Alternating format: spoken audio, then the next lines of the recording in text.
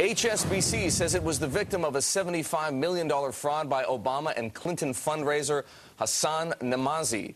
Prosecutors say that Nemazee repaid $74 million he stole from Citigroup by tricking another bank into lending him the money. HSBC has filed a civil suit against Nemazee. He hasn't responded formally to the criminal charges against him.